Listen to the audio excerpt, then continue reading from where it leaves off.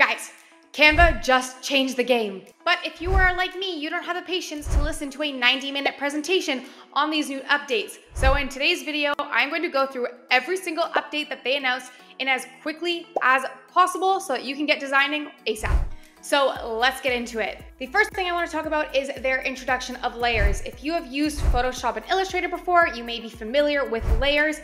And if you are not, let me just show you exactly what that means.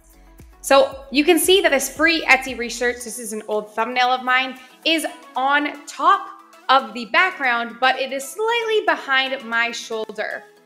And I actually have a little blue blur behind me, but I can't get to it without having to move me fully, edit it, and then move me back. But now what I can do is if I hit position, in the top, automatically it's gonna say arrange, but if you hit layers, you're gonna see all of your different elements and you can just click on them and then you can edit them this way. So I want to get to this little blue blur that I had. I can just click on that and now I have accessed it and I can edit it up here without my face getting in the way.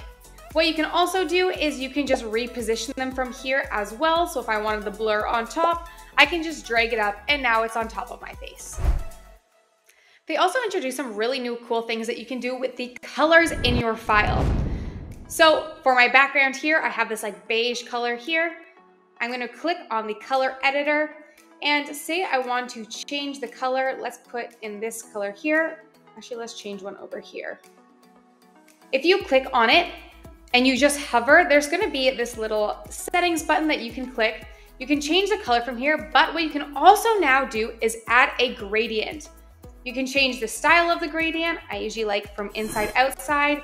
And then from here, you can change the colors of your gradient and then as well add in any more if you want like a really cool rainbow effect. They've also added a lot more things to Brand Kit. Before there were brand colors that you could set up, but now if you are sharing your Canva with maybe multiple team members, I actually share it with my VA, you can actually have a brand kit to set up your colors, your fonts, images that you can use so that everyone is on the same track when they are designing. So to get there, under here, you're gonna find Brand Hub.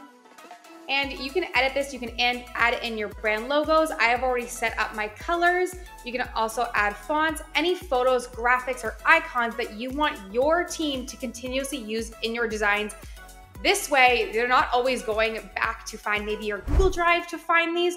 It's all already in Canva for you.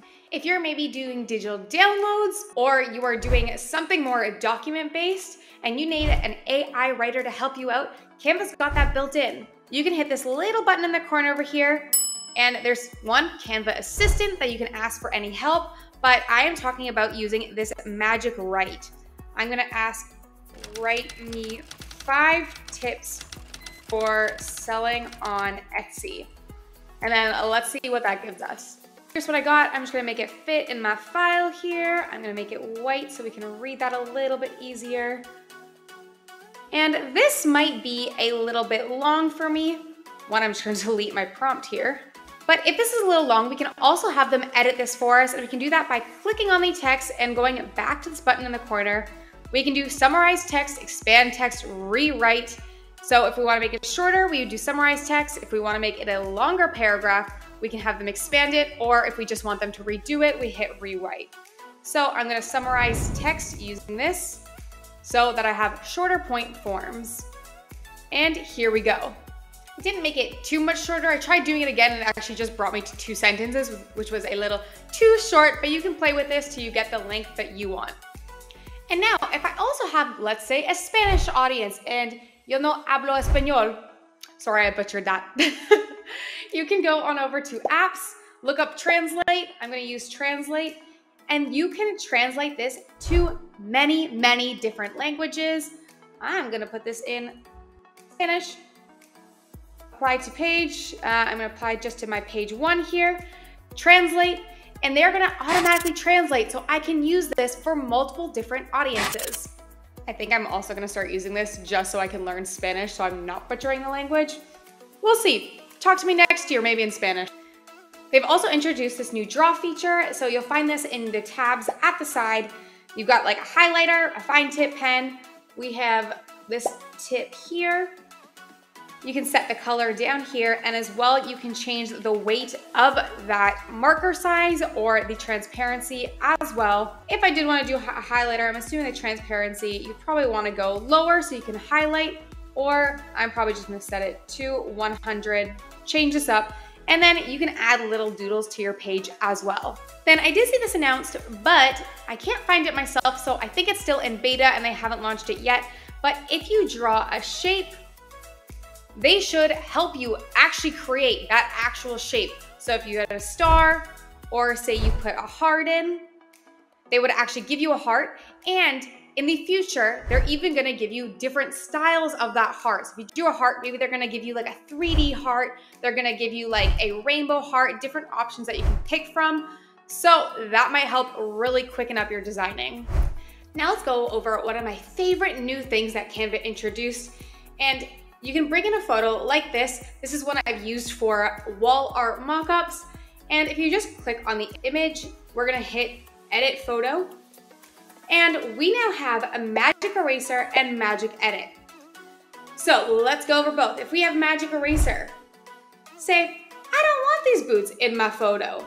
You can edit your brush size and just trace over what you want to disappear and let's let that load. And take a look at that. They brought in the background that they assumed was behind the boots and got rid of them and now this image looks like the boots were never even there. What if I still wanted a pair of shoes there? I'm just not so unclassy that I'm wearing rubber boots. I want some black heels to replace these. What I can do is I'm gonna hit, again, magic edit this time. We're gonna do the same thing we did before and just highlight over the boots. And now I'm going to hit continue and we're gonna type in what we want here instead. And I want a pair of black heeled boots instead because we are high grass like that. And now using that prompt, Canva has made me four options for black heeled boots that I can click on and they are going to replace those other boots that were there with some more classy black boots. And if you don't like the results, you can just hit generate new results to get another four. All right, now moving on in the spirit of quickness, now we have what is called a custom animation so what you can do is before, there used to be a few animate options. There were only these, pan, fade, which weren't very helpful. Versus now, you can create a custom animation with some of your elements. Just click on create an animation, and I'm gonna draw my little birdie going on a nice little day flight. He's gone wild. He's had too much Red Bull. All right, and now I can change his speed, I can slow it down, and I can save this as a video or a GIF file. We also have what is now called Magic Design. So if you go into your templates outside of a file, you can get to try Magic Design. And what you're gonna do is you're gonna upload some of your assets. So right here, inspiring templates crafted with your media. We're gonna upload our media. I'm just gonna use some of my recent photos. Let's use my recent one in here. Then from here, you can also add a vibe or a theme. So we can change this to maybe I'm hosting a cool event. I really like this type of color theme. So I'm gonna go with this Roxborough. I'm gonna put in see results and I can also change up my headline. And there we go. Now we have tons of different options with my color scheme. It screams come to my event. I've got my photo in there and these can just be a basis point because then you can go click into these and you can edit them however you would like. These are just a great way to create a starting point for some of your designs. And then just the last thing that I heard, but I can't find out my account yet, so I don't think it's implemented yet, is to be able to create presentations based on a prompt. So goodbye PowerPoint, hello Canva AI presentations. You can tell them, make me a presentation. I think they use the example to get my coworkers to dress like me or my presentation to quit my job and they will create a template for you and you can add in your imagery so you're not spending so much time on designing presentations. But again, I hope that one is coming or I'm just missing it, but it doesn't seem to be on my account just yet. All right, guys, now it's time for you to get designing. Thank you for listening and I'll see you next week.